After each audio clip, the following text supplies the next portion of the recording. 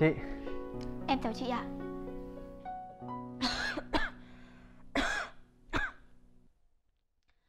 Chủ tịch đã về rồi đấy à? Chị cứ trêu em Sức khỏe của chị thế nào rồi ạ? Trêu gì? Chẳng phải em là chủ tịch tập đoàn ABA à?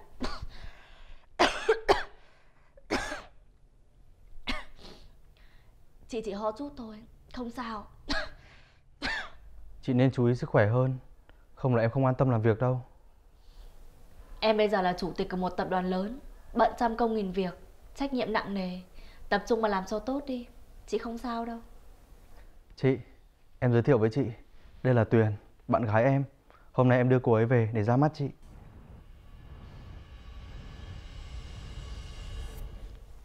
Hai đứa ngồi đi. Em ngồi đi Chị Tuyết, anh Phan Anh, em mới anh... Ơ, đây là... À đây là Tuyền Bạn gái của anh. Hôm nay anh đưa cô ấy về để thăm chị Tuyết.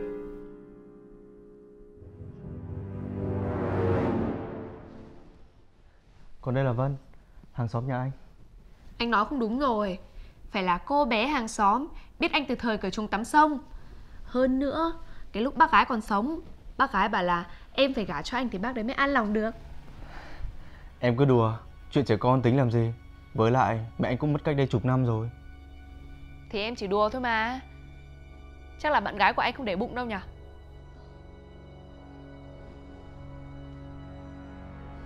Dạo này Phan Anh bận nhiều việc, Tuyền ở chơi. Khi nào Phan Anh bận thì Vân qua chơi với Tuyền em nhé. Chị cứ yên tâm đi, em sẽ chăm sóc Tuyền thật tốt ạ. Cảm ơn Vân trước nhá Không có gì đâu, Tuyền đừng có khách sáo. Cô đừng hòng đến được với anh Phan Anh. Tôi nhất định sẽ phá đến cùng. Phan Anh này, chị thấy Tuyền cũng được. Thế nhưng mà quê xa quá. Cái Vân nó lại ở gần. Dẫu sao chị thấy... Chị Chuyện này em đã nói với chị bao nhiêu lần rồi Em đã chọn Tuyền Và sẽ không bao giờ em thay đổi đâu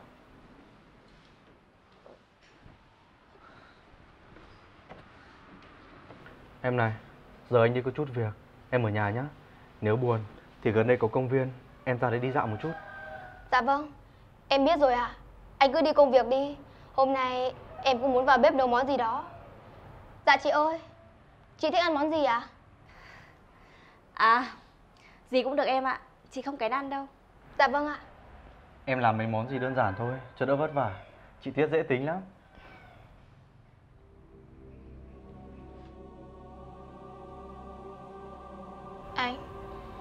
Em thấy hình như là chị ấy không ưng em. Em đừng nghĩ lung tung. Em là bạn gái anh Không phải lo lắng gì hết. Vậy chị ấy có thích ăn món gì đặc biệt không ạ? Chị ấy không kén ăn Nhưng trước giờ luôn ưu tiên những món dễ tiêu hóa. Mà này Chị ấy bị dị ứng lạc. Em đừng nấu món gì có lạc là được. Dạ vâng Em biết rồi. Anh cứ yên tâm đi làm đi ạ. Ừ, Để anh vào chuẩn bị. Gớm Anh chị còn phát cơm chó cho ai xem. Anh Phan Anh cứ đi đi Yên tâm để Tuyệt ở nhà cho em. Ừ.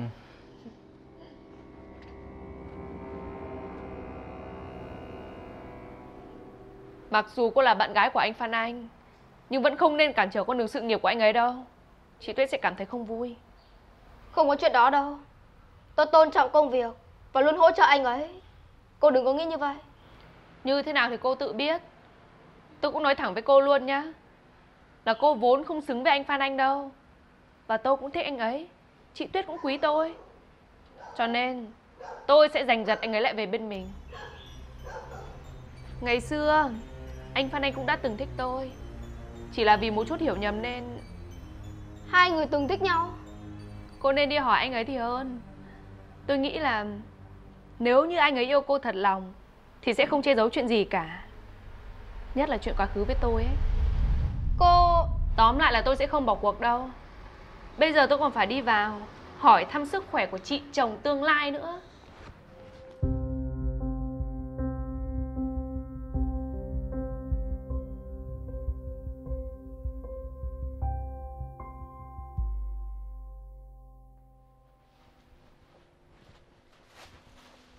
Đằng đây, Nhìn lóng nga lóng ngóng, Chắc gì đã làm được việc? Cô mới nên tránh ra, Cô chỉ là người ngoài thôi, Còn tôi là bạn gái của anh Phan Anh. Căn bếp này Rồi sẽ do tôi làm chủ mà thôi. Cô cũng biết là sẽ. Tức là hiện tại không phải. Và cô cũng không có quyền đuổi tôi. Thậm chí nếu mà cô lớn tiếng mắng chửi tôi Thì tôi hoàn toàn thừa khả năng khiến chị Tuyết ghét bỏ cô. Khi đó Liệu anh Phan Anh còn ở bên cô hay không? Cô... Ơ kìa Cùng nhau làm đi chứ Không lẽ cô định để tôi giúp cô nấu hết bữa ăn ngày hôm nay à? Vân mới sang à em? Sao hai đứa không đi chơi mà lại ở trong bếp thế này? Chị Hôm nay em cùng Tuyền vào bếp Để nấu những món ăn chị thích Trước sau gì Thì Tuyền cũng về đây làm dâu Cô ấy cũng nên ờ, biết khẩu vị của chị với anh Phan Anh chứ Đúng không ạ? Em suy nghĩ chu đáo thật đấy. Không nghĩ được cô bé ngày nào có sang đây làm nũng với thằng Phan Anh, bây giờ đã lớn thế này rồi. Dạ vâng Vân đúng là rất khéo léo và nhanh nhẹn Em còn phải học hỏi nhiều ạ Chị coi Vân như là em gái trong nhà. Con bé hơi láu cá, lại nghĩ gì nói đấy. Có nói gì không hay thì em đừng để bụng nhá. Dạ vâng, em hiểu ạ Thôi, hai đứa nấu ăn đi nhá. Dạ vâng ạ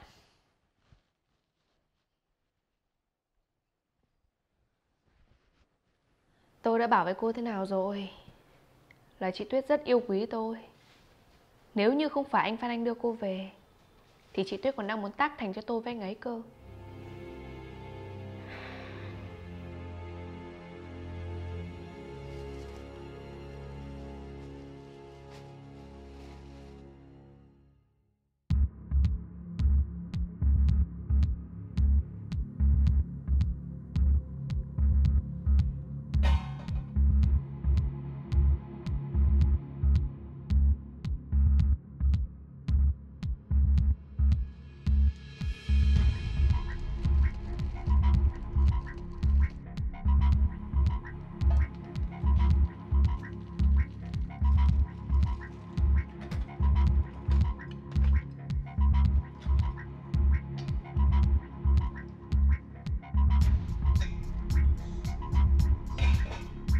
Lần này tôi sẽ cho cô biết Thế nào là đấu với tôi Mùi hấp dẫn quá. Em nấu món gì đấy? Mấy món đơn giản thôi Anh mau vào rửa tay đi Để em lên nhà mời chị Tuyết xuống ăn cơm nhé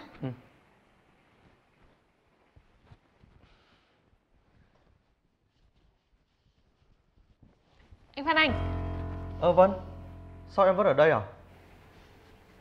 Em sang giúp Tuyền nấu cơm Thế mà đến bữa anh lại đuổi em về à Ờ, anh không ý đó.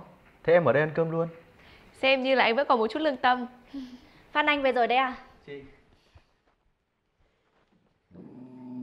Em mời chị ngồi ạ Chị cảm ơn. Vân ngồi đi, hai đứa ngồi đi, mình ăn cơm thôi. Dạ vâng ạ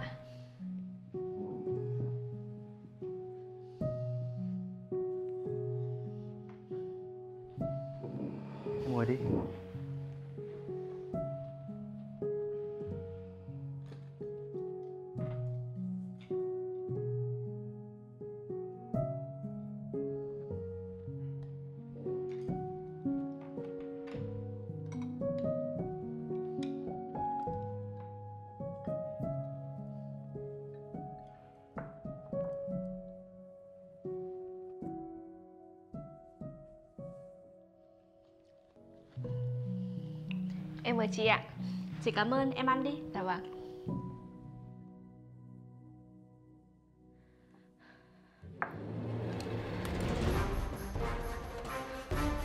Ô, chị ơi, chị Tuyết, chị làm sao đây hả? Ờ, chị Tuyết, chị Tuyết ơi Không ổn rồi, chị lên cơn dị ứng.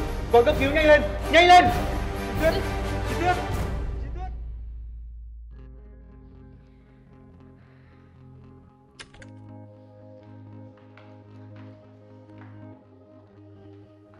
Cảm ơn bác sĩ ạ. Chị ấy Suýt nữa thì cô hại chết chị Tuyết rồi. Cô có biết là chị ấy bị dị ứng lạc không? Rõ ràng là tôi không hề cho lạc vào đồ ăn. Tại sao lại có chuyện đó được Tại sao à? Bởi vì chị Tuyết quý tôi Muốn tôi làm em dâu thay cô Nên là cô mới ác độc như vậy đúng không? Tôi không có. Tôi thật sự không biết Tại sao chị ấy bị dị ứng hết. Cô thôi đi. Cô đừng có diễn nữa Là cô muốn hại chết chị Tuyết Vân, em đừng có mà nói linh tinh. Tuyền không phải là người như thế. Người đang nằm ở trong phòng này Là chị gái của anh đấy Không lẽ anh vì cô ta Mà không màng đến sống chết của chị gái anh à Em bình tĩnh đi. Chuyện còn chưa rõ ràng. Và Tuyền chắc chắn không phải là người như vậy. Anh tin cô ấy. Anh đúng là mù quáng Anh thay đổi rồi anh Phan Anh ạ Anh Phan Anh Em thật sự không biết trong đồ ăn có lạc Em không cố tình đâu ạ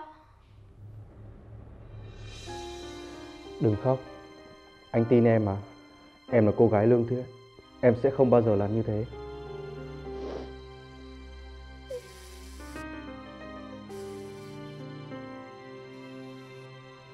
Alo, tôi nghe đây. Được, tôi về ngay. Anh đi giải quyết một chút việc. Em ở đây chăm sóc chị Tuyết giúp anh nhé. Dạ vâng Có gì gọi điện cho anh.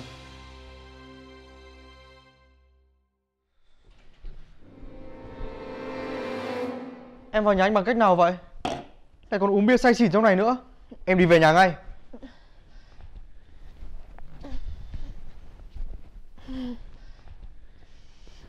Em yêu anh như vậy Thế tại sao anh không ở bên cạnh em Cái Tuyền nó có gì tốt đâu Còn suýt cả hại chết chị Tuyết à Em buông anh ra đi. Đừng có say xỉn rồi làm can. Mau ra khỏi đây ngay. Không Em không đi Em chẳng đi Tuyền, mọi chuyện không như em nghĩ đâu. Anh Văn Anh Em yêu anh Anh cũng yêu em mà Anh đừng có dối lòng mình nữa Thì ra hai người Tuyền, nghe anh nói đã. Tuyền.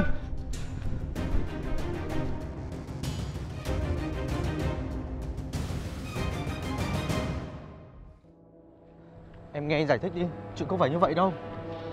Em không muốn nghe anh giải thích Dù sao Chị gái của anh cũng không thích em Hiện tại chị ấy còn vì em mà nằm viện nữa Chúng ta nên chia tay thì hơn Để sau này Đỡ khó xử và đau khổ hơn Em bình tĩnh lại có được không? Anh không thể mất em được. Chuyện chị Tuyết chỉ là sự cố thôi. Bây giờ chị ấy cũng đã ổn định lại rồi. Em đừng có vội vàng có được không? Em nghĩ kỹ rồi Vân phù hợp với anh hơn Em yêu anh Nhưng Anh đừng tìm em nữa Tuyền! Tuyền! Anh Phan Anh Tất cả là tại cô mới khiến Tuyền đau lòng như thế. Tôi không muốn nhìn thấy cô nữa. Anh Em yêu anh Anh đừng có đối xử với em như thế nữa Chúng ta mới là người phù hợp mà Dù sao thì Tuyền nó cũng chia tay anh rồi Không bao giờ. Tôi không bao giờ chấp nhận cô.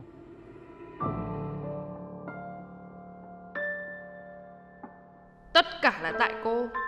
Tôi phải cho cô mãi mãi rời xa anh Phan Anh.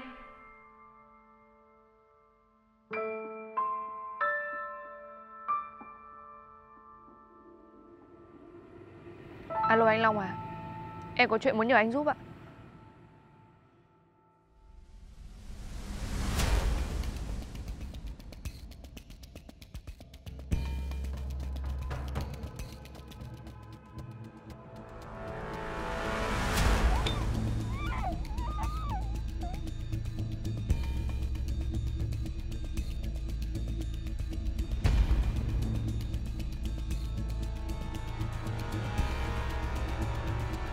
Tuyền!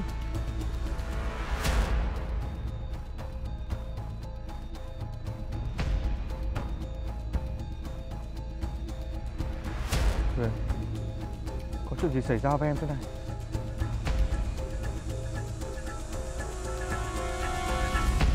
hôn hồn thì hãy rời xa Phan Anh nếu không á thì không xong với tôi đâu Anh buông nó ra. Để em nói chuyện với nó. Vân Cô điên rồi à? Bắt cóc là có tội đấy. Mày nghĩ là tao sợ à? Mày nhầm to rồi. Khuôn mặt xinh đẹp như thế này Mà bị rạch vài nhá Thì sẽ như thế nào nhỉ Cô Cô mau bình tĩnh lại đi. Cô đừng có sai gắng thêm sai nữa. Tất cả là tại mày. Mày phải bị hủy hoại Thì tao mới vui ở trong lòng được. Dừng lại. Anh Văn Anh. Ai cho các người động vào cô ấy? Ê, Em Em có sao không Các người đứng lại. Tôi đã báo cảnh sát bao vây chỗ này. Các người không chạy được đâu. Chị Chị chị đừng mà. Chị luôn coi em là em gái mà đúng không chị? Cô bỏ lạc và hại tôi Rồi đổ tội cho Tuyền. Cô nghĩ cô còn tư cách để nói chuyện đó với tôi à? Sao chị lại biết ạ? Cô quên là nhà tôi có cam à?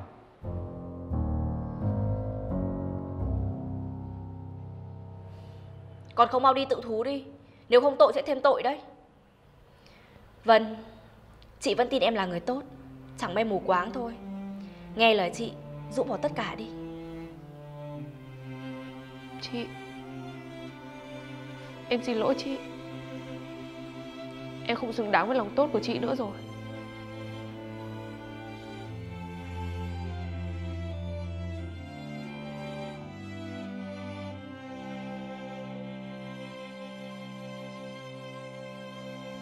Anh xin lỗi Đã khiến em sợ hãi rồi. Tất cả là tại anh. Là tại em. Đáng lẽ ra Em không lên giận dỗi trẻ con như thế.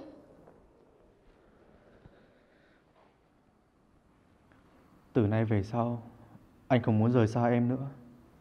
Anh rất sợ. Sợ mất em Mình cưới em nhé Em đồng ý.